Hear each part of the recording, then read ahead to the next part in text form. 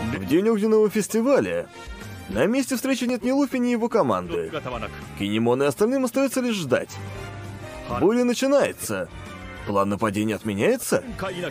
Бушующие волны и морской ветер будто бы преграждает им путь на Анигашиму.